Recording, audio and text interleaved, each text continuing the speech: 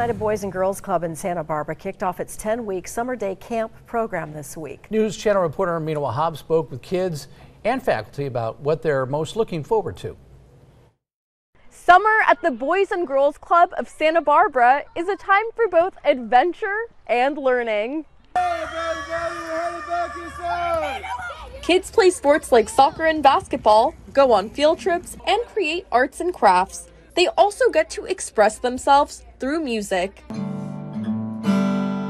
They're always super stoked to come in here. They're really excited. The drums in particular is one of the crowd favorites around here. They love, you know, banging on those and stuff. But just in general, being able to play the piano, they're always just so like wide-eyed and, and so excited to get their hands on it. It's uh, it's really amazing to see. Each week follows a different theme the kids can explore. This week's theme is Under the Sea. Yesterday we made a jellyfish, and then today we made a newspaper shark. Reading and STEM are a huge emphasis here.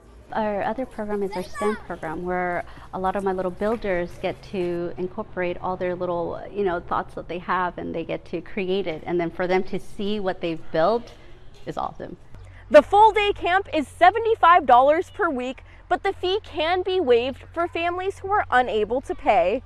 In Santa Barbara, I'm News Channel reporter Mina Wahab. And the camp provides breakfast, lunch, and snacks for the entirety of the 10 weeks. You can still sign up for the Santa Barbara location, but just know there is a wait list.